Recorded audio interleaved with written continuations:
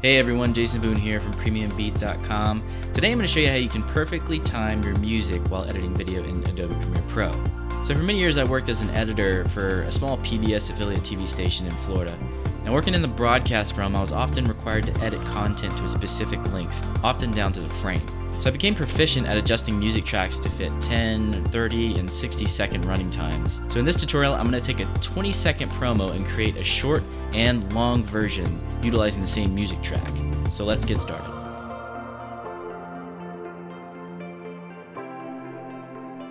Just for your information, when you download a music track from PremiumBeat.com, you're going to get more than just the single music track. So we have a music track here that I got off of PremiumBeat.com. It's two and a two and a half minute music track. But also, what I have here is I have a folder full of loops and a folder of short versions.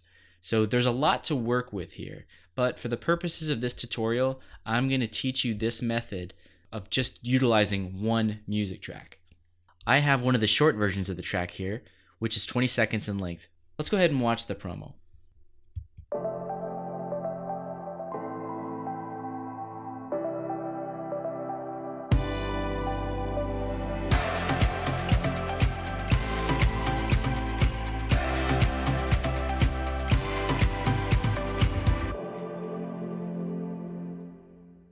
Okay, so again, that's a short little 20 second promo. Now, let's say we delivered this promo for broadcast, and the producer came back and said, Hey, we need two different versions of the same, two extra versions of this same promo. We like the music you picked, but we need a shortened 10 second version, and we need a 30 second version. So that's what we're going to be doing here. So if I were doing this, the first thing I would do is I would put some markers on this audio track for timing purposes. And it's going to make editing the audio track easier and it's going to make uh, just visually seeing where the beats are located on the track. So let me show you a quick tip here. The first thing I would do, I'm going to add markers to this clip on the fly. And the way I'm going to do this is I'm just going to simply play back with, with have the clip selected and then on the fly, I'm going to be pressing the M key to add markers to this clip.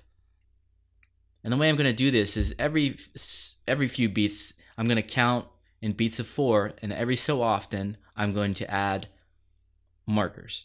So let's go ahead and do this. Now watch the watch the clip here. One, two, three, four. One, two, three, four. One, two, three, four. One, two, three, four. One, two, three, four. One, two, three, four. One, two, three, four. One, two, three. Okay, there we go. Simple enough. You see we have all these markers here now at roughed end of these beats. And if you just look at the waveform, you can see the flow of this music track and where some of the hits are, the beats are.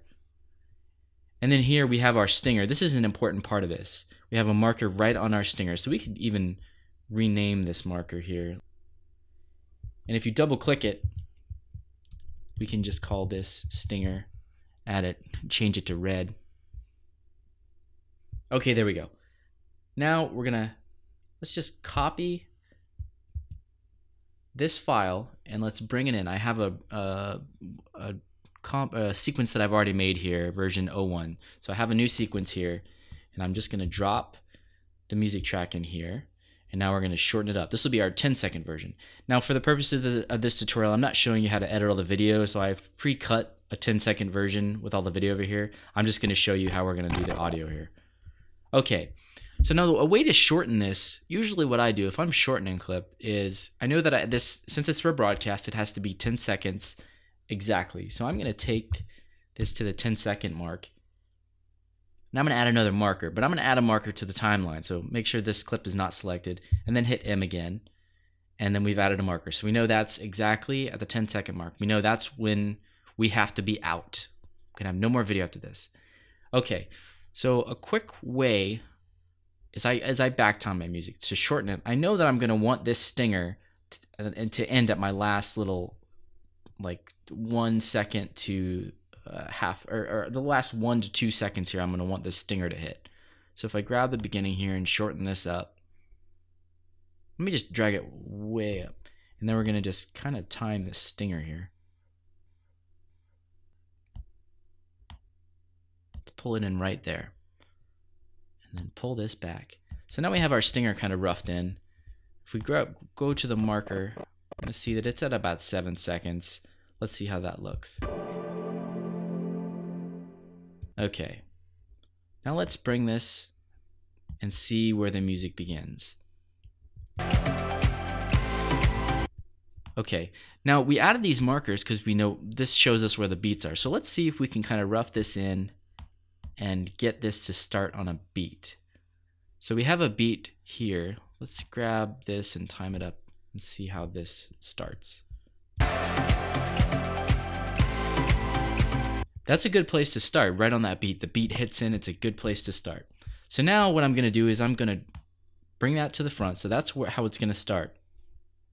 And we have our stinger roughed in near the end here, but it's sticking out a little bit past our 10 second mark. So now all we need to do is just simply drag this back and I'm going to add an audio transition shortcut here. You could go to effects, audio transitions, and just grab a crossfade, drag it down. So now let's listen to this.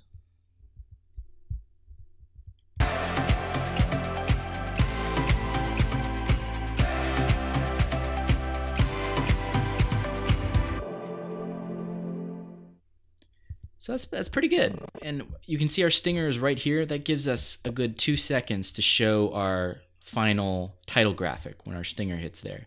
So now let's grab this, drag it over, and see how it looks. Might not be perfectly timed. So here's our 10 second version of the promo.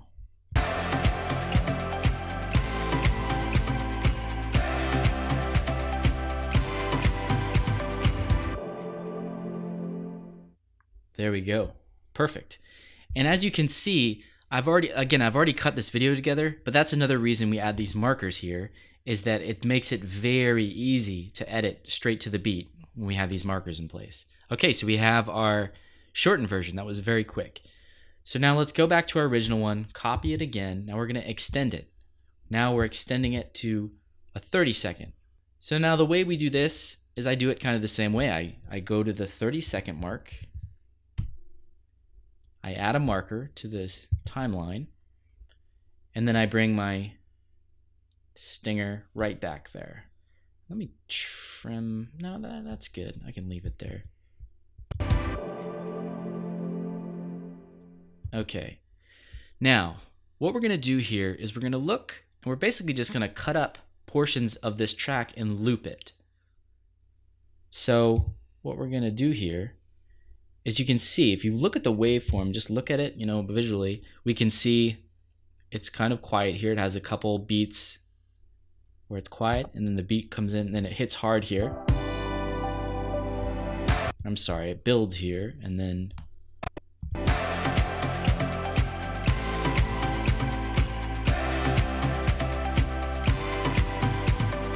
So if you listen here, between this marker and this marker, we could loop this to extend our track. So let's go ahead.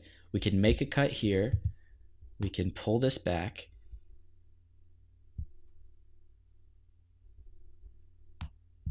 And if we make another cut here, and then grab this part, and then hold Alt to duplicate, drag it over.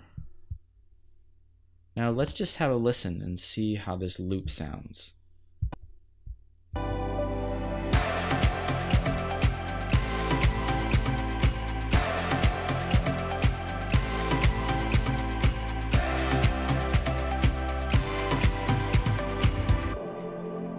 There we go. So we've extended it a little bit.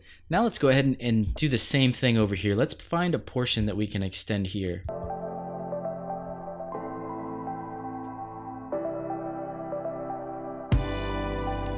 So let's see if we can just uh, kind of loop the beginning here. So let's go and grab this part, edit on this marker,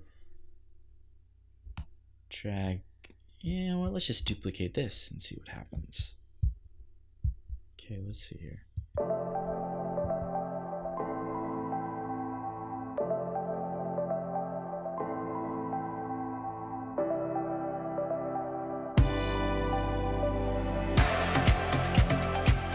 Now, let's see how much space we have. We have a little gap here, and we have a little bit of room to play with over here.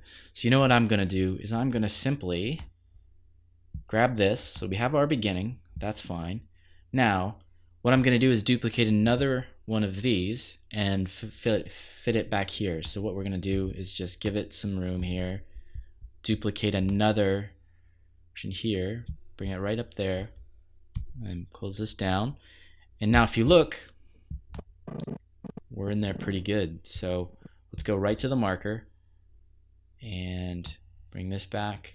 And we're gonna need to put in another audio transition. Let's just have a listen to this stinger.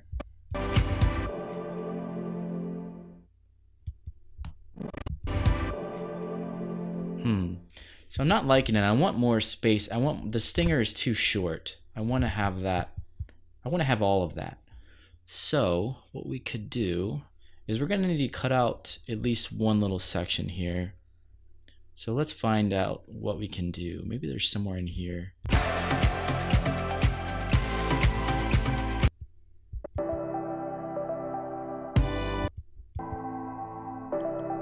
We might be able to just cut out this little portion here. Let's try it. So I'm to do a ripple delete. And listen to this.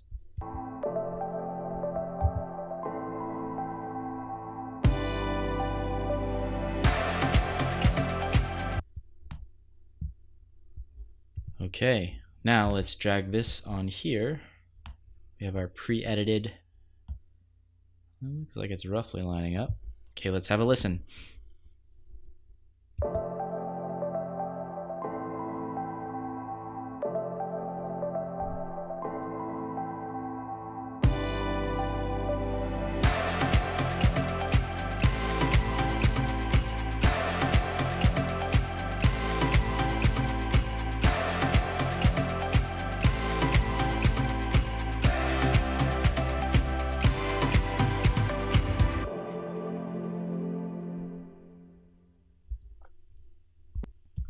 Okay, all I need to do now is extend this stinger. Actually, no. Extend it from here.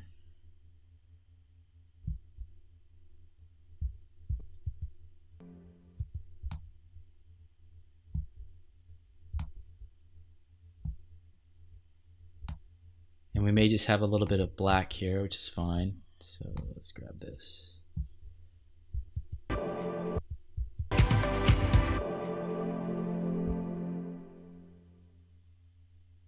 There we go.